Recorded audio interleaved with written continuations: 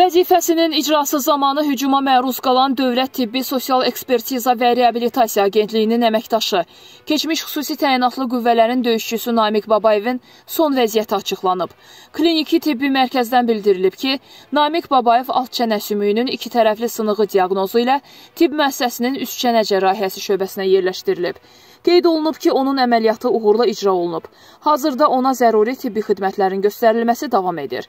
Xatırladaq ki, Binəqədi rayon məhkəməsinin qərarı ilə qazinin çənəsini sındıran döyüş növləri üzrə peşəkar idmançı, vətən müharibəsi iştirakçısı Rəvan Nəbizadə bir ay müddətinə azadlıqdan məhrum edilib.